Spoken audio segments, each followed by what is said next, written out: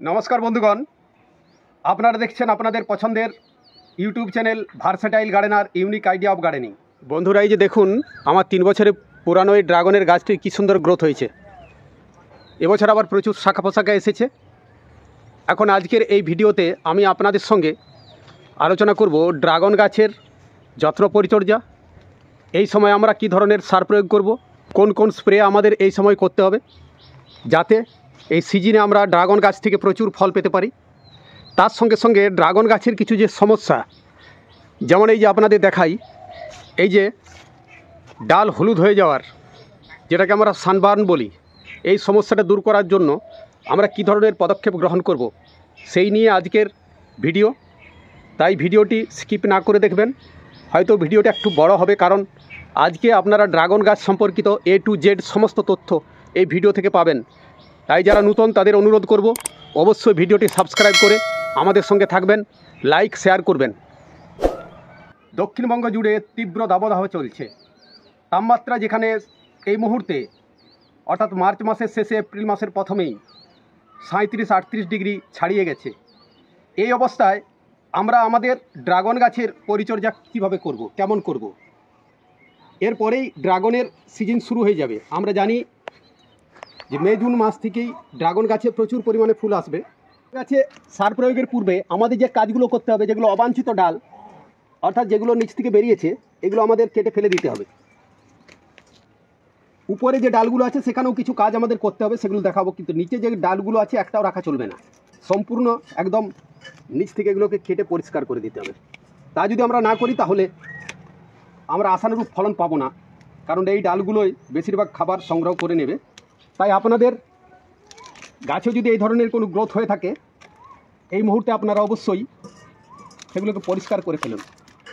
আমি নিচ থেকে যে ডালগুলো, অবাঞ্ছিত যে ডালগুলো ছিল, অর্থাৎ মেন শাখা থেকে যে ডালগুলো বেরিয়েছিল, সেগুলোকে সব পরিষ্কার করে দিচ্ছি এরপরে উপরের দিকেও আমাদের কিছু প্রুনিংয়ের কাজ করতে হবে। যেমন এই যে, এখানে দেখুন, এই যে মেন শাখাটি এখান থেকে, এই যে সাইড যেগুলো বেরিয়েছে, এগুলো অতিরিক্ত খাবার গাছ থেকে নিয়ে নেবে। ফল আসার ক্ষেত্রে অসুবিধার সৃষ্টি করবে। এইভাবে একটা সিঙ্গেল থাকবে। এইভাবে আমরা কিছু কিছু এখান থেকে কেটে দেব। এরপর যে বিষয়টি নিয়ে এখন আমি আপনাদের সঙ্গে আলোচনা করব, সেটি হলো এই মুহূর্তে আপনারা কী ধরনের ফার্টিলাইজার ব্যবহার করবেন? যাদের গাছগুলো ছাদ বাগানে রয়েছে, অর্থাৎ কোনো টবের মধ্যে, সেক্ষেত্রে আপনারা অবশ্যই জৈব খাবার দেবেন। টবের সাইজ অনুসারে আপনারা এক থেকে দু চামচ হাড়ের গুঁড়ো, তার সঙ্গে সঙ্গে দু চামচের মতো যেমন শিংকুচি তার সঙ্গে সর্ষের খোলের গুঁড়ো আর পর্যাপ্ত পরিমাণে ভার্মি কম্পোস্ট। সেক্ষেত্রে পটের সাইজটা যেরকম হবে, তার উপর নির্ভর করে আপনাদের খাবার দিতে হবে। তার সঙ্গে কিছু আপনারা রাসায়নিক খাবার এই সময় দিতে পারেন। যেমন সিঙ্গেল সুপার ফসফেট ব্যবহার করতে পারেন। এছাড়া অল্প পরিমাণে দশ, ছাব্বিশ ছাব্বিশ আর তার সঙ্গে কিছু অনুখাদ্য আপনারা এখন অবশ্যই ব্যবহার করতে পারেন। আর এর স্প্রে কী হবে বা আমি এখনও পর্যন্ত কী কী স্প্রে করেছি সেই সম্পর্কেও আপনাদের বলব। এখন আমি দেখুন গাছ পরিষ্কার করে দিয়েছি। এরপর আমি খাবার প্রয়োগ করব। বন্ধুরা, যেহেতু প্রচুর গরম পড়ে গেছে এখনই, তাই এই মুহূর্তে বেশি রাসায়নিক সার আমি ব্যবহার করব না। জাস্ট আমি একশো গ্রামের মতো নিয়েছি, দশ, ছাব্বিশ ছাব্বিশ, এবং তার সঙ্গে এই যে নিয়েছি, একটি খুব সুন্দর মাইক্রোনিউট্রিয়েন্ট এবং তার সঙ্গে সঙ্গে কিছু ম্যাক্রোনিউট্রিয়েন্টও এর মধ্যে রয়েছে। এই যে যেগুলো আপনারা দেখতে পাচ্ছেন এইগুলো, এগুলো হচ্ছে টাটা স্টিল কোম্পানির ধুরবি গোল্ড। এই প্রোডাক্টটি আমি পেয়েছি অনেক দিন থেকে আমি এই প্রোডাক্টটির চেষ্টা করছিলাম পাওয়ার জন্য। আমি পেয়েছি এর মধ্যে প্রচুর মাইক্রোনিউট্রিয়েন্ট রয়েছে আয়রন থেকে শুরু করে সালফার থেকে শুরু করে জিঙ্ক ম্যাগনেসিয়াম বোরন এছাড়া এর মধ্যে আরও বেশ কিছু পুষ্টিমৌল রয়েছে, যেগুলো গাছের পক্ষে অত্যন্ত উপকারী। এই মুহূর্তে ড্রাগন গাছের পক্ষে খুবই কার্যকরী হবে। তাই টাটা ধুরবি গোল্ড এখানে মোটামুটি আমি নিয়েছি পঞ্চাশ গ্রামের মতো। এই মুহূর্তে কিছুটা রাসায়নিক আমি প্রয়োগ করছি। পরবর্তী সময় এই গাছে আর রাসায়নিক সার প্রয়োগ করব না। সেক্ষেত্রে হাড়ের গুঁড়ো এবং তার সঙ্গে সঙ্গে শিংকুচি এগুলোই পরবর্তী সময় আমি প্রয়োগ করব।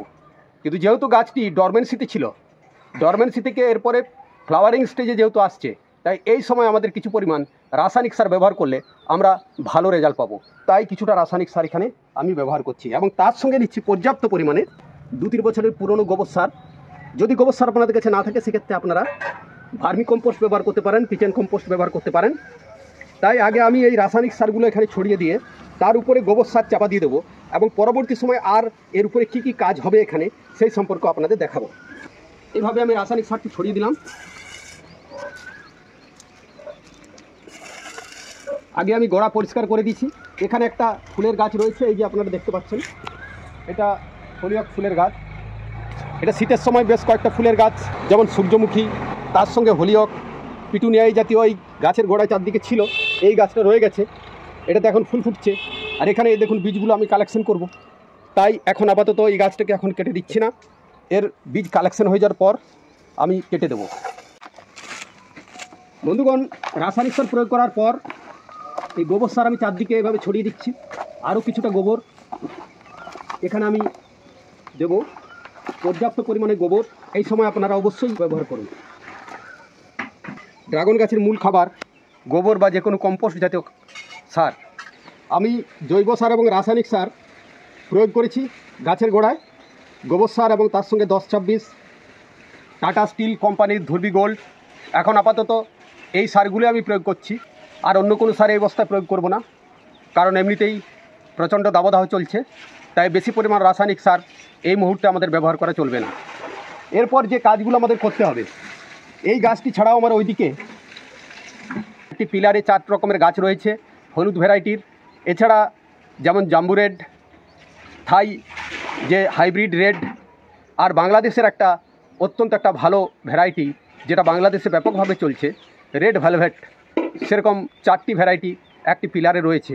সেই গাছটির পরিচর্যাও আপনাদের পরবর্তী কোনো ভিডিওতে আমি দেখাবো। এই অবস্থায় এই গাছের কি কি ধরনের স্প্রে করতে হবে? বন্ধুগণ, এই মুহূর্তে মূলত সেই সমস্ত ফার্টিলাইজারগুলো, যেগুলো জলে গুলে যায়, সেরকম। তো সেই ধরনের ফার্টিলাইজার এবং এই গরমের অবস্থাতে, এই তীব্র দাবদাহে, আমরা কি ধরনের ফার্টিলাইজার এই সময় ব্যবহার করব।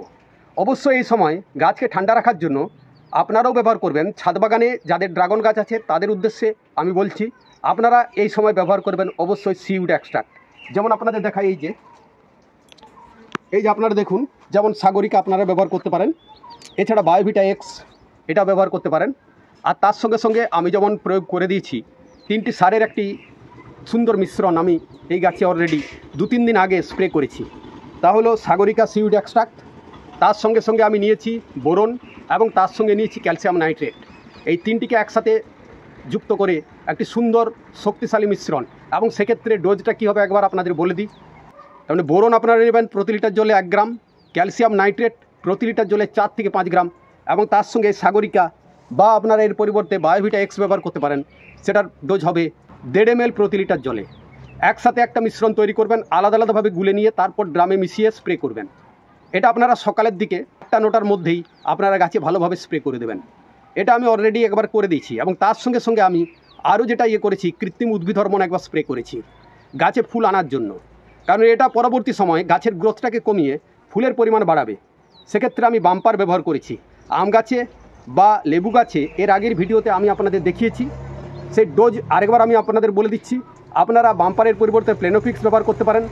তাছাড়া আপনারা বুস্টার টু ব্যবহার করতে পারেন। যদি এই মুহূর্তে আপনারা বুস্টার টু ব্যবহার করেন, তাহলে প্রতি লিটার জলে এক ফোঁটা। যদি আপনারা প্লেনোফিক্স ব্যবহার করেন, তাহলে প্রতি লিটার জলে পাঁচ থেকে ছ ফোঁটা।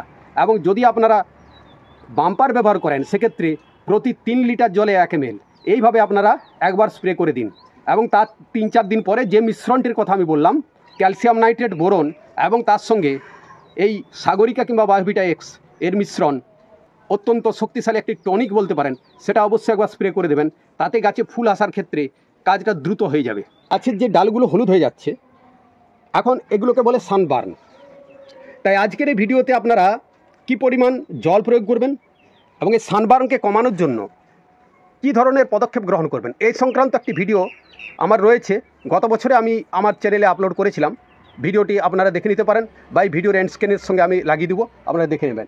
সেক্ষেত্রে তবু আমি বলে দিচ্ছি আপনাদের, এই হলুদ হয়ে যাওয়া মানে সানবার্ন তীব্র রোদের কারণে এটা হয়।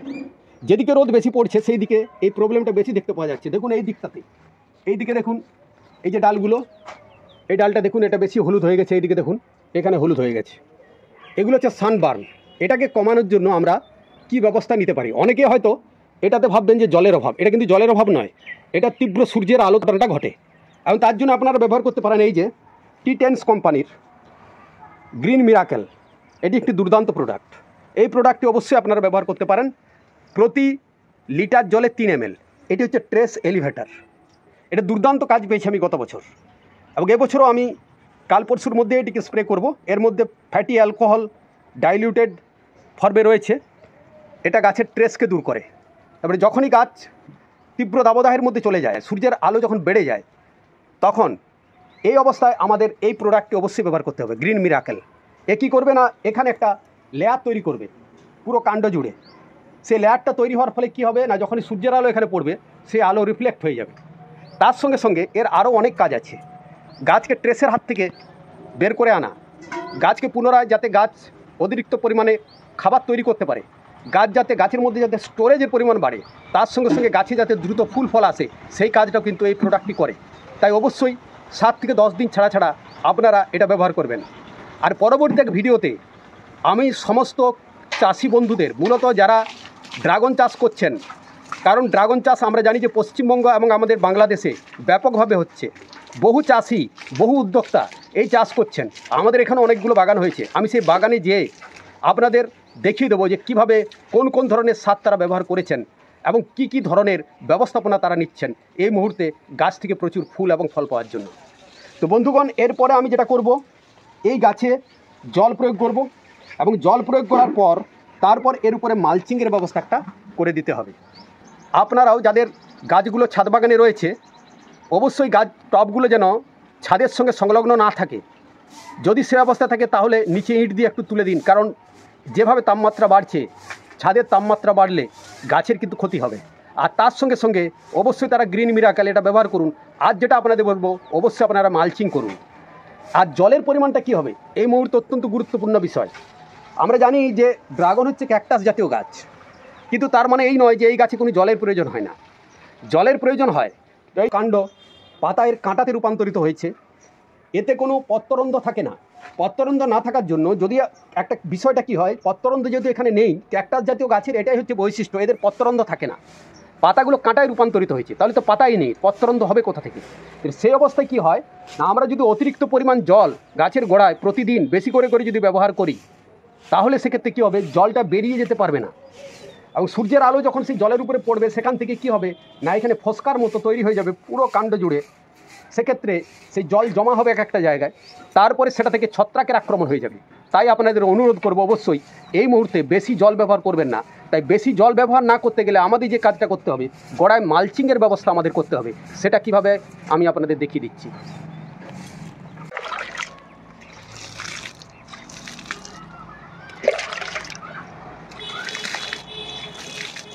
দেখুন, আমি কীভাবে মালচিং করে দিয়েছি জল দেওয়ার পর।